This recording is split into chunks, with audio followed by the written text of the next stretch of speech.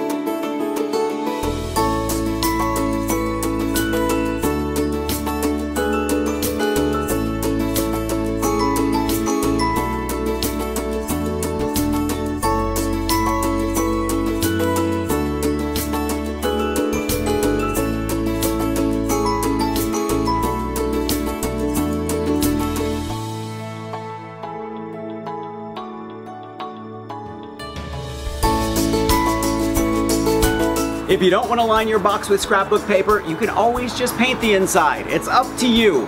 Thumbs up if you like this video, leave me a comment and I will get back to you. Subscribe to this channel if you haven't already. Grab a copy of the Big Ass Book of Crafts and I will see you next week. Bye.